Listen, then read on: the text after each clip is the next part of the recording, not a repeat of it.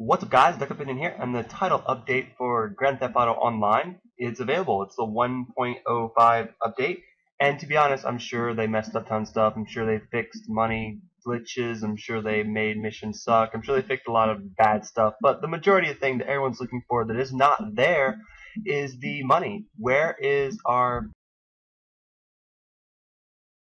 first 250k stimulation package? It was supposed to come. They said it would and it still hasn't come. And so on their Twitter, they said it's going to come in the next few days, but I feel like all they're doing is just holding this money above everyone's nose just so they're like, keep playing our game for another month. Keep playing it. I know we don't have, you know, heist out. I know we have capture a flag or create your own thing, but we have this money we're going to hold over your nose that isn't even that much money. But I will say though, I mean, they said they were going to give us this money, and I had half a million when they said that.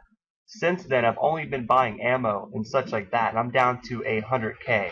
So if they're going to patch anything, it needs to be the ammo, and we need to get our stimulation pack money right now. So let me know what you guys think about them up, upgrading, updating again, but still not giving us our cash. And you think it's maybe just a scam to keep playing the game? Let me know what you guys think in the comments. Keep it locked to Duck Opinion for more news, informations, and all your go-to on Grand Theft Auto online. Talk to you guys later. Dustin Fly. Peace.